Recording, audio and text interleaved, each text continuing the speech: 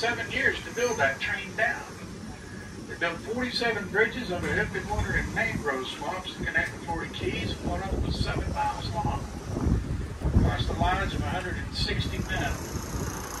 120 of those dead in one day thanks to that 1906 hurricane.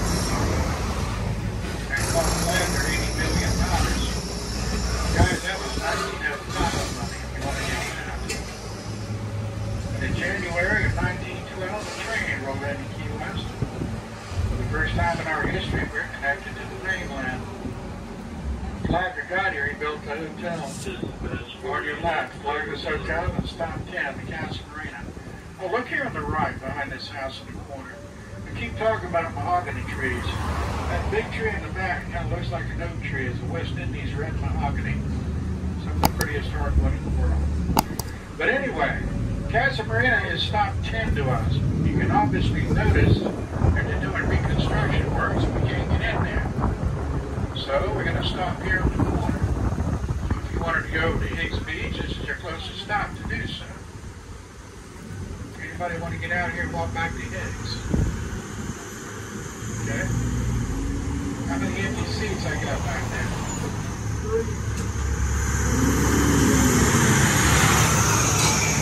How many you got? I got three empty seats and one of you can sit in the jump seat.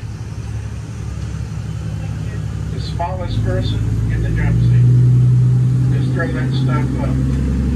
Don't worry about it. It'll break them.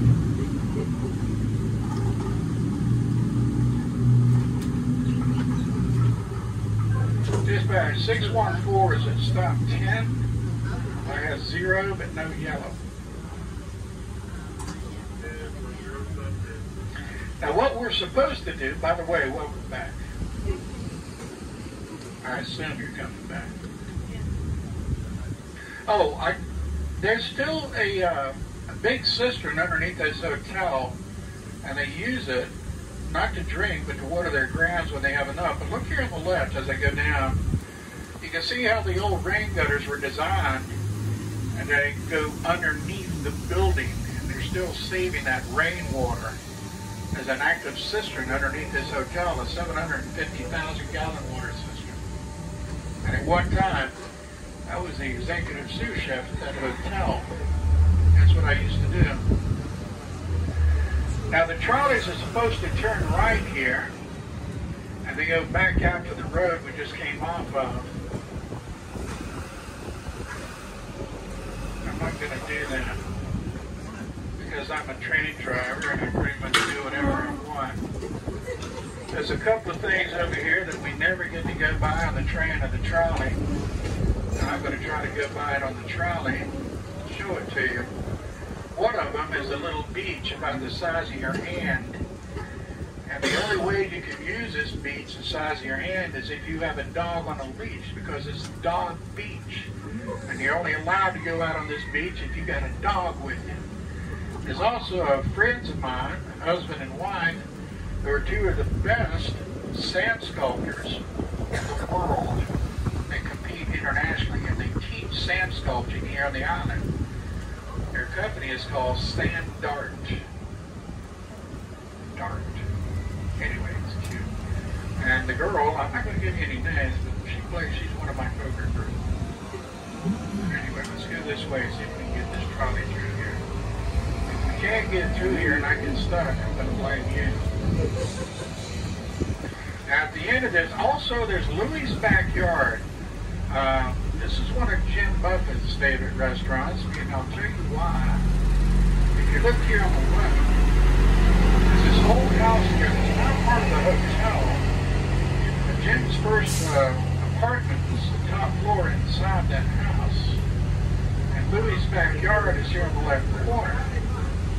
Really one of the most popular with the locals, too. And on the left, in the corner, you're going to see Dog Beach. Okay, it's a little bit bigger than I said it was, but you got to have a dog to be on that beach. I look on the right corner. Some friends of mine, they're the ones that carved the yard, the sand. They've got a, they've got one out there in they are so talented. And there are sand art competitions all over the world. They're really good, as you can tell. I can just get a bucket fill it with sand and turn it upside down and say it's uh, the Alamo or something. Oh, and there's one other thing I want to point out over here. You may have noticed these trees with the large clusters of scarlet blossoms. There's one ahead of us. Have you noticed these? Okay, this is Royal Poinciana. The Latin name is Delonix regia, which means royal conspicuous claw. If you get one blossom out of that cluster, it's got five petals shaped in like a claw. They're very messy. They are not indigenous to the Western Hemisphere. They were planted by the Spanish. And they're very high canopy. But the summer belongs to the Royal Poinciana. You can see them in bloom all over the island. Come back in a couple of months, there'll be more in bloom. And if you get high up on the island looking down on this beautiful green island, you can see every single one of them. And it looks like it's splotched in red paint. It's really cool. Okay, this uh, this silver uh, wood here, the silver leaves of the silver buttonwood, uh, they get about four times that size, and it's the fourth densest wood in the Western Hemisphere. It won't, mature buttonwood won't float, not even in salt water. Now, some guys will like to tell you that they got the name buttonwood because they carved buttons out of that wood. But if you look close at that tree, you'll see little round inedible berries that look like buttons. That's how it got the name. You got it. And just for if anybody asks, I did not do what I just did. I did not make that detail. Anyway, we're back on the full route when I turn left here. And our next stop is stop 11. Uh, that is the closest to the southernmost point of the Butterfly Conservatory. We're going to go right by the southernmost point of the trolley. If you wanted to get out, walk down, take a picture, come back and hop on another trolley, this next stop, 11, will be your closest here. Just from the other side of this coming intersection. Stopping up. Here's some more buttonwoods here. There's actually another buttonwood tree that's called a green buttonwood. It's literally identical, except it has a green shiny leaves instead of silvery looking leaves on it. And the, both those leaves are designed by nature to hold as much moisture in that plant as possible. The green shiny leaves reflect sunlight. It's called albinism. All right. Stop eating that southernmost point And there's a car parking right where it says us. I am not having, oh, but Freddie's going to get, look at Freddie there. Freddie's all over. You can't park there. Get him, Fred. His daddy and I used to shop together at the old Hookie lot. Freddie's going, see that Charlie behind me? Give him a warning.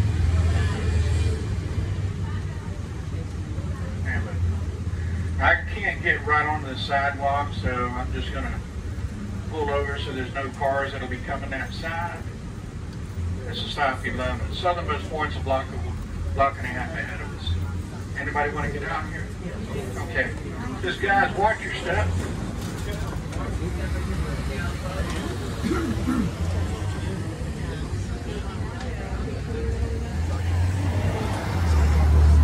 You guys got any questions? Freddie here in that green shirt you.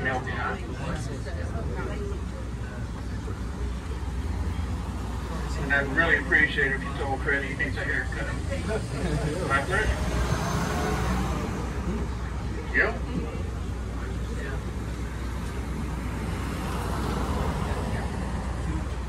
Oh, thank you. Thank you very much. You got a baby? Yep. Thank you. You are the hear the stuff we can't talk about. Uh, in, northern Scotland, the high those, those mountain ranges at the top of Scotland at one time, they were together because. Yeah.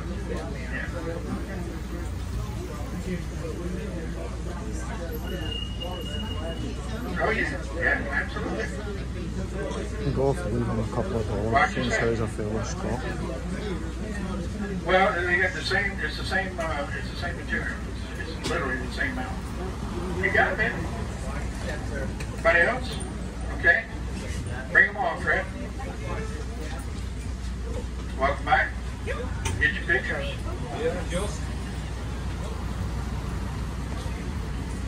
Oh, I'm sorry. I thought everybody was out there going out. Last to change your mind, so. That's okay, baby. That's the way it works.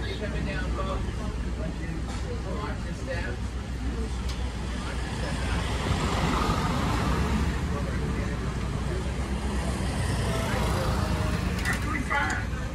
Come on, man. Waiting on That's it? Okay. Welcome back, guys.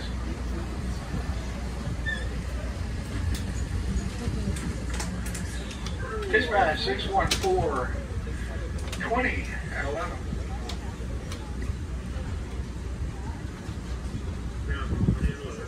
Now, I normally drive the train. This is a story that I don't get to talk about. On the trolley. I like this story. See what you think. There's a house coming up on the right-hand side. Uh, not a house, but a hotel called the Southernmost Beach Resort.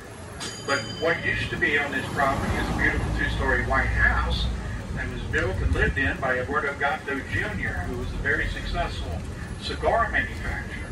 Now, later in his life, he didn't like the way the setting sun in his balcony. So he had it picked up, turned around, and moved right across the street. And ahead on the right, on the other side of that Yuengling truck, that two-story white house used to be right here, facing the other way. But when we go by, you can read the address above the door, and it's in stained glass. It reads 1327. See that? Well, that is an odd number, but that is the even side of the street. I'm always liked it. On the left corner, built in 1899 by Judge Vining Harris, Southernmost House. That's beautiful Queen Anne architecture. Now, we called that the Southernmost House for years, until a woman named Thelma Strabel came to town. Thelma Strabel was a novelist and had written a book called Reap the Wild Winds about our record industry. She moved to Key West in 1941 and built her house 18 inches to the south to Judge Harris. And Thelma had a great sense of here on the left, her little gate. See if you can read the plaque. She's stuck next to it. It reads, the southernmost, southernmost house. That's Thelma's house. And this is the southernmost point. Now this red, black, and yellow burgundy marks as far south as you get in the U.S. without getting wet. And it's going to read 90 miles to Cuba. How far is it? It's 93. Anybody from Texas? You're actually 86 miles further south of Brownsville, Texas right now. That seems to upset the city of Brownsville. I'm not sure why. But we're now the southernmost trolley in America watching the southernmost tourists. Take their southernmost pictures at the southernmost point. Now, I told you guys that were with me that the Navy owns more property on the island than anyone and they do by far. On the left, on that hedge of silver buttonwood, is Naval Air Station Truman House. That's where our jet pilots and their families live. So I'm going to get up here and you look at the gate, you might want to say, Kenny, that's a rather secured gate for residential areas, and it is. Truman as also the headquarters of the Joint Caribbean Task Force Command. And it's where a local SEAL detachment teaches other branches of service how to hold their breath underwater. I don't know what you think of the Navy, but they got talent and dedication. Kids, I grew up in this Navy town. That's exactly why I joined the U.S. Army. That and a baseball scholarship. That's another story. Okay, have you seen any chickens today? Yeah, Yeah. see a lot of them. Yeah, roosters and chickens, male chickens. Now, if you Google on your phone, when you get time, Google something called red jungle fowl, and you'll be looking at a Key. Now, these are Gallus gallus. These are wild birds. They were left by the Spanish 500 years ago. They were left on purpose. I'm going to say no, they were not. but I guarantee you, at least one boy and one girl chicken got left behind. And man had not established this island yet, so there were no ground predators for these birds. There were no dogs, no cats, no hogs, no man. So for about 275 years, this island was chicken nirvana, and they flourished. Now man settles the island, and we're going to use the checkers for meat, and for cockfighting. But 87 years ago, Key West and Montgomery County became part of a very large bird sanctuary. The chickens on this island were declared wild bird of the wing by the U.S. government and overnight protected by 18 state and federal laws. You cannot touch these birds, they're wild. They're protected. And my wife and I are birders. We love the chickens. Every chicken you see will hit their weight every month in insect. And scorpion. We got these little yellow and brown scorpions on the island. Chickens love them. We love them. They're not deadly scorpions speaking from experience, you're going to ruin your Saturday if you step on one barefoot. That takes me to my next stop. This is stop 12. Now this is the closest to the Hemingway house and lighthouse in my house. The Hemingway house from here is a block to the left at this intersection. The lighthouse is a block to the left at the intersection. My house is two blocks to the left. I'm not going to get right on it because there's a scooter parked here that shouldn't be there. I've got to dig myself through to get out. Everybody get out here?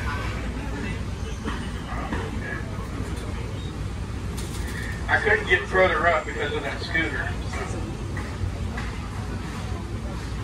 Well, you're accommodating. Never play this girl poker for real money because you're going to lose it. Come on. Who is it? Oh, okay. We go for the next one. If you live here, we know you. Okay. Don't let that train pull out with me here. Oh, he knows better. All right, welcome back, guys. I need to ask you a question, if I may. No habla español, por favor, levanta la mano. I said if you speak Spanish, please raise your hand. Now, we've celebrated an anniversary of 512 years, or 10 years. It was 1513 that the first European man here, and that would be the Spanish. When the Spanish arrived, they found the same thing that you're looking at. Okay, without the houses and hotels. But they found something else. They found bones. They found a lot of human bones. Now, indigenous peoples have been using for the and hunter-gatherers for well over 2,000 years. Calusa, Corí, Matacope. I can't tell you whether the bones of Spanish were burial ground or battleground, and no one can. I can tell you only what Spain called the island on their maps. They call it Bone Island. In Spanish, Cayo Hueso. We are still Cayo Hueso, Island in Spanish. Now, the name West is a very bad translation of those two Spanish words in the English. Cayo means key or little island. Somebody thought Hueso was west. Experts call it corruption of sound. My PhD Canadian wife calls it transliteration. You don't know me, but you can believe me when I say from my heart, my friends, welcome to Key West, and I mean that. It does not cost me a dime to say it. If you spoke nothing but Spanish, I would say, por mi coro, mi amigos, bienvenidos a Cayo Hueso. Bienvenidos a Cayo Hueso. Welcome to Blue Island. What I'm going to do my next stop. Oh, now, this is stop 13. This is my last stop before I finish at Mallory Square. This is between the 6 and the 700 block of Newhall. Now, the Hemingway house is two blocks, one block down.